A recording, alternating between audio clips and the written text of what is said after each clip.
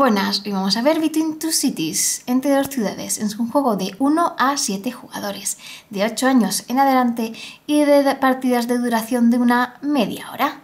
Vamos a ver los componentes, la preparación de la partida y cómo se juega.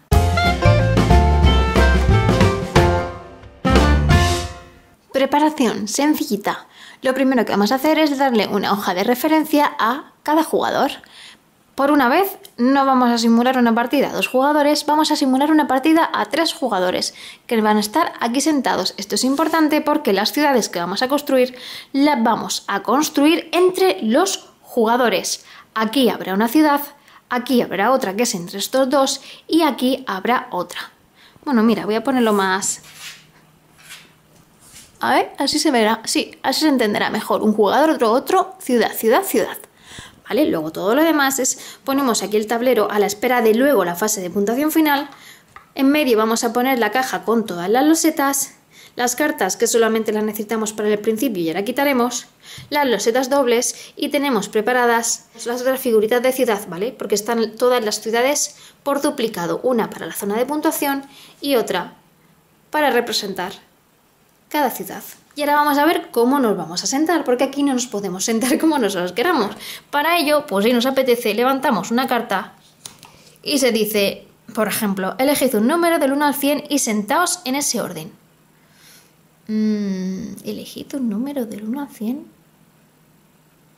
Esto, wow, no sé. Em, digo, levantamos una carta y decimos combinación del número de letras del nombre y apellido. Esto, venga, paso Mm, por la longitud del pelo, venga, esta me vale. Entonces, aquí, por ejemplo, se sienta el que tenga el pelo más largo, aquí el, mediano y aquí, pues, el más calvo. ¿Vale? Simplemente, simplemente pues vamos cogiendo una carta y ya está. Y si no nos apetece hacer todo esto por altura, por orden alfabético de no sé qué, de no sé cuántos, no sé cuántos, pues simplemente repartimos una carta a cada jugador y por el número que toque, pues en orden. Dicho esto, estas cartas ya no las queremos para nada más y las dejamos dentro de la caja. Y ya que nos hemos sentado y preparado todo, podemos empezar a jugar a Between Two Cities. En Between Two Cities somos unos arquitectos, promotores, constructores, como queréis llamarlos, que nos han contratado para hacer dos ciudades, ¿vale? Para hacer dos proyectos de ciudad. El proyecto que más guste será el ganador, el elegido y por lo tanto ganará la partida. Lo que pasa es que como no se fían mucho de nosotros, pues han llamado a otros dos o tres o cuatro o cinco, lo que sea, mm, constructores, promotores, arquitectos, lo que queráis más, y entre dos vamos a tener que ir haciendo ciudades, es decir, yo voy a unirme con este y con este pues para hacer estas dos ciudades. Esta no la atacaré para nada porque esta de, esta se encargarán este y este. Así, independientemente del número de jugadores, siempre es jugador, eh, ciudad, jugador, ciudad, jugador, ciudad. Está claro, ¿no? Pues dicho esto, lo primero que tenemos que hacer es, cada jugador va a coger siete losetas de la caja. Ya ha cogido cada jugador siete losetas aleatorias de la caja. Una vez que ya las tenemos, cada jugador, sin enseñársela a los demás, va a elegir dos y el resto se las va a pasar al siguiente jugador. Y así todos. Este jugador elegirá dos, se las pasará al siguiente, el cual elegirá dos y, se las, y me las pasará a mí, por ejemplo. Vale, una vez que ya las hemos pasado, pues lo que tenemos que hacer es colocarlas ahora en consenso con los jugadores que estén a nuestra, nuestra izquierda y a nuestra derecha, pues tendremos que colocar una loseta en cada ciudad. ¿Vale? Vamos a traerlas un poquito para acá. Pues bien, yo puedo decir, venga, pues aquí coloco esta, aquí coloca esta, mientras el jugador de aquí pues tiene que hacer lo mismo con su izquierda y su derecha. Dice, bueno, pues yo coloco aquí y esta la voy a colocar yo en esta ciudad. Este jugador que ha elegido otras dos pues hace lo mismo. Dice, venga, pues esta va bien aquí, y esta, pues venga, pues la ponemos aquí. Ya hay dos losetas en cada ciudad. Y una vez que hemos hecho esto, vuelta a empezar. Cogemos las que nos han pasado, que ahora son cinco, nos quedamos dos y pasamos las otras tres. Y así otra ronda más. Esas dos, ¿qué haremos? Pues las pondremos en consenso en las ciudades. Luego vemos reglas de colocación y qué hacen cada cosa y todo eso, ¿vale? Y las tres que nos quedan las pasamos. Cuando nos, pasen las otras tres, la que nos queda la descartaremos. Y simplemente pues volveremos a hacer lo mismo. Colocaremos otra y otra. Y así lo harán todos los jugadores. Entonces empieza la, la segunda ronda. La segunda ronda es que cada jugador va a coger tres losetas dobles, las mira, elige una para cada ciudad y la otra la descarta así todos los jugadores. Y luego pues la coloca. Hay dos tipos de loseta, mira, he tenido suerte. Apaisadas y levantadas. Pues, pues como queramos. Pues esta, por ejemplo, así y esta así. Repito que ahora veremos cómo se construyen las ciudades, ¿vale? Una vez que todos los jugadores han, hecho lo mismo, por lo tanto todas las, eh, todas las ciudades tienen que tener el mismo número de cuadraditos, pasaría ya la tercera ronda, que es la última, que es volver a coger otras siete losetas de la caja y volver a hacer lo mismo pasándonos, nos quedamos dos, las pasamos, las ponemos, nos vienen, cogemos otras dos, las ponemos, las pasamos y otra vez más. Una vez que todo se haya terminado, tendremos una ciudad de 4 por 4 y pasaremos a puntuar las ciudades. Ahora vemos cómo se puntúan. Una vez que sepa la puntuación de mis ciudades, me va a puntuar la ciudad que dé menos puntos. Imaginaros que esta ciudad consigue 70 puntos y esta 50, mi puntuación va a ser 50 puntos. Sin embargo, si esta es 70 y esta es 85, la puntuación de este jugador va a, ser, va a ser 70 puntos. Este ya me va a ganar. Y ese ya pues ve a ver cuál de sus dos ciudades. Si esta o esta, pues en este caso creo que era esta, ¿no? No me acuerdo cuánto era, 75 no, era esta. Esta que era 50, pues también serán 50 puntos, por lo tanto habrá ganado este jugador. El juego no tiene más. Eso es, vamos a ver ahora cómo se realizan las construcciones, cómo conseguimos los puntos y cómo puntuamos. Las reglas de colocación son muy sencillas. Tienen que ser adyacentes ortogonalmente, salvo obviamente la primera loseta que se ponga, el resto tienen que ser adyacentes ortogonalmente. Y no podemos pasarnos de 4 por 4. Cuatro filas, cuatro columnas, ¿vale? Yo ahora mismo, si me toca, no puedo poner esta aquí. Pero si, por ejemplo, aquí, aquí, aquí, aquí, ¿vale? No me puedo pasar de un cuadro de 4 por 4. Luego además, pues simplemente pues que hay que ponerlas todas derecha, ¿vale? Mirando siempre al mismo sitio. No influye nada en juego, pero es más fácil a la hora de, de ver cómo es la ciudad y no volvernos locos, ¿vale? Buscando los iconos. Mucho más sencillo. Ya está, esas son todas las reglas de colocación. Vamos a ver los tipos de loseta que tenemos y cómo puntúan. Tipos de losetas y puntuaciones. Para empezar tenemos las tiendas. Las tiendas tenemos que ponerlas adyacentes ortogonalmente, ya sea en una columna o en una fila, ¿vale? Dependiendo de cuántas tengamos encadenadas en una columna o en una, fila ganaremos más puntos. Una sola loseta nos dan 2, dos losetas nos dan 5, tres losetas nos dan 10 y eh, cuatro losetas nos dan 16.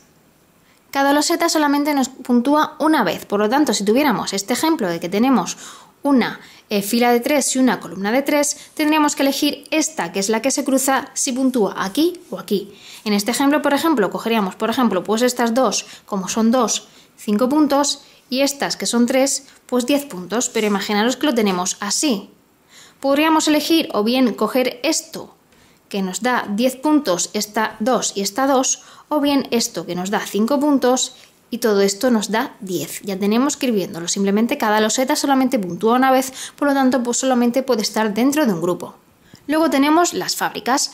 Las fábricas simplemente la ciudad que acabe con más fábricas ganará la moneda de oro y cada fábrica le va a puntuar 4 puntos. No tienen por qué estar juntas ni nada, simplemente estar dentro de esa ciudad. La que más 4 puntos, luego la segunda ciudad que más fábricas tenga 3 puntos cada fábrica y la tercera dos puntos cada fábrica. Luego tenemos las tabernas, que tenemos de cuatro tipos: cafeterías, música, eh, restaurantes y pues, dormir, hotel o lo que sea. Nos van a dar puntos por cada lote de tabernas distintas que tengamos. Es decir, si tenemos. Mmm, imaginaros que solamente tenemos estas tres en la ciudad, da igual que estén juntas o no, pues como tenemos de tres tipos nos van a dar nueve puntos. Si tuviéramos cuatro puntos, nos daría, esa cuatro tipos distintos nos darían 17 puntos. Si tuviéramos de dos tipos nos darían cuatro puntos. Pero podemos hacer eh, distintos lotes, es decir, imaginaros que tenemos estas tabernas en nuestra ciudad. Con estas hacemos un lote de 17 puntos y con estas dos que están repes hacemos un lote de 4 puntos, ¿vale? Un lote de 2 y un lote de 4. Podemos distribuirlas como queremos sabiendo por supuesto que igual que las losetas de tiendas, una misma loseta no puede puntuar en varios grupos distintos. Luego tenemos las oficinas. Dependiendo cuántas tengamos en nuestra ciudad, que no tienen que estar juntas, simplemente estar en nuestra ciudad, nos darán más puntos. Si tenemos una, pues un punto. Dos, tres puntos. Eh, un, dos, tres, cinco, quince puntos. Y si tenemos seis oficinas, nos dan 21 eh, puntos. Si tuviéramos 7, pues nos darían 21 puntos más 1. ¿Vale? Si tuviéramos 8, 21 puntos más 3. Recordar, hay que hacer lotes con ellas igual que con el resto y no pueden mm, puntuar para más de un lote. Además, por cada taberna adyacente que tengamos, la oficina se nos incrementa en un punto. Pero ojo, esto sería un punto más, solo un punto, ¿vale? No se, no se suman, ¿vale? Simplemente que si tiene al lado una taberna o más, es, esta, esta valdría un puntito más. Luego tenemos los parques. Estos sí tienen que estar adyacentes, pero da igual cómo, simplemente con que estén adyacentes ortogonalmente. Es decir, en esto tiene que hacer filas y columnas como había que hacer en los comercios. Y simplemente, pues cada juntas que tengamos, pues nos sumarán más puntos. Una sola, dos, dos parques juntos, ocho, tres parques juntos, doce, etc. Y luego ya van subiendo de un punto en un punto. Si tuviéramos cinco juntas, pues dos. Si tuviéramos seis juntas, pues 15 puntos. Y luego ya por último tenemos las casas. Cada casa vale un punto por cada otro tipo de losedad distinto que tengamos en nuestra ciudad. Vamos a imaginar que esta es nuestra ciudad. Tenemos una casa y ¿cuántos tipos tenemos de edificio sin contar las casas? Tenemos tiendas, tenemos industria, tenemos oficinas y tenemos tabernas. Tenemos cuatro tipos. Por una casa que tenemos son cuatro puntos. Si decir estuviera así, seguiríamos teniendo cuatro tipos, pero con dos casas. Por lo tanto, dos casas por cuatro tipos, ocho puntos y así sucesivamente. Además, si una casa está junto a una industria, que las industrias son las verdes, imaginaros que esto estuviera así, esta casa no se, no se contaría para la multiplicación. Esa casa solo valdría un punto porque a nadie le gusta vivir al lado de una fábrica. ¿Vale? Entonces, en este caso que teníamos dos casas, esta valdría un punto y esta uno por cuatro tipos de distintos edificios que teníamos, pues cuatro puntos, en total cinco puntos. Para una partida de dos jugadores, sin embargo, cada jugador va a llevar dos ciudades, ¿vale? Un jugador se hará sus dos ciudades y otro jugador se hará otro. Las reglas son las mismas, salvo que en vez de estar dividido tres rondas, recordar que en el juego de 2 a 5 eran tres rondas. Robar siete, eh, siete, siete fichitas de aquí, luego tres de aquí y luego otras siete de aquí. Pues aquí es lo mismo, pero dos veces cada cosa. Es decir, dos veces vamos a robar siete fichas, es decir, robamos siete fichas, las vamos, vamos poniendo dos, las vamos pasando así hasta que la última se descarta y volvemos a robar siete fichas. Una vez que ya se ha vuelto a descartar por segunda vez la última ficha, robamos tres cada uno, ponemos dos, descartamos la última, volvemos a robar, a robar tres cada uno y luego volvemos a hacer dos veces la fase de robar siete fichas. Al final de la partida lo que se hacen es puntuar las dos ciudades de cada jugador y sumar sus puntos. Y el jugador cuyas ciudades en su globalidad sumen más puntos es el que gana la partida. Todo lo demás es igual. Y bueno, esto es Between Two Cities. No voy a explicar el modo solitario, porque ya sabéis que el modo solitario me gusta explicarlo con una partida. Así que tendréis que esperar un poquito para poder ver cómo se juega Between Two Cities en solitario. En cuanto pueda, cuando el tiempo me deje, porque tengo una larga cola de reseñas, haré la partida en solitario y la subiré para que podáis verlo. El Between Two Cities me recuerda mucho a, juegos tipo, tipo Cuadrópolis, ¿no? Donde vas, pues, eh, montando tus ciudades de tal manera, pues, que puedas eh, sacar los, los mayores puntos de victoria posibles. Em, entonces tiene su parte de estrategia. Lo que, pero lo que me llama más la atención de este juego es que por una vez no estás tú solo contra el resto de jugadores, sino que es medio cooperativo sin dejar sin ser cooperativo, es decir, sin dejar de ser competitivo. ¿Por qué? Porque en este caso tienes que junto con los jugadores que hay a tu lado, por lo tanto es una interacción totalmente directa con los jugadores, tenéis que ir montando la ciudad em, entre los dos. Entonces dependes bastante de lo que haga el otro y cómo ponga las fichas el otro, cómo la piense.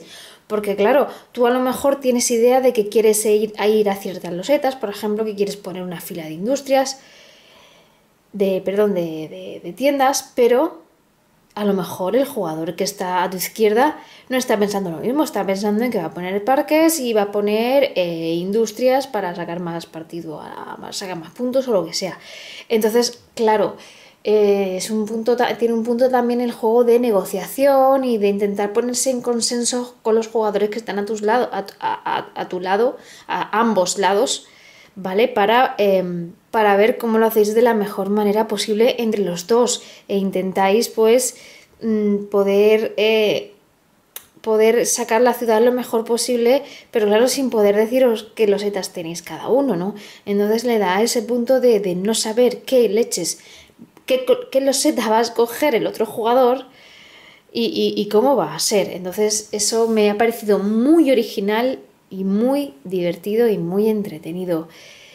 Es un juego que la verdad es que los, componentes son, los componentes son muy buenos, el, troquel es bastante gordo, la caja es, de estas gordas, eh, la calidad de las cartas es... A ver si puedo sacar una son gruesecillas, tiene, tiene un tacto como de, plástico porque se nota, se nota que son de mucha calidad. Y la verdad es que para el precio que lleva, yo cuando cogí el, juego en mis manos dije, joder, ¿cómo pesa esto? No, no parecía que pesara tanto, porque claro, va hasta arriba sin mirar ya lo que ocupan las losetas. Esto es la caja, ¿eh? Entonces ya y tienes que meter esta, y tienes que meter el tablero, y tienes que meter las cartas que no las he enseñado. Em, las enseñé en el unboxing, ¿vale? Pero las cartas son para la versión, sobre todo para la versión en solitario, ¿no? Aparte de pues, las cartas esas que os he enseñado para ver cómo se sientan los jugadores.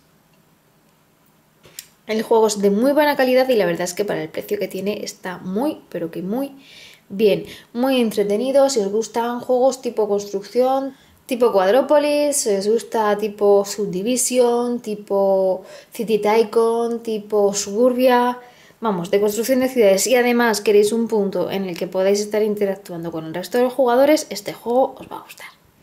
Y bueno, esto es Between Two Cities, entre dos ciudades. Espero que os haya gustado la reseña. Si veo algún error o si lo veis vosotros, ya sabéis que pondré los errores en la descripción del juego. Muchas gracias por ver el vídeo y un saludo.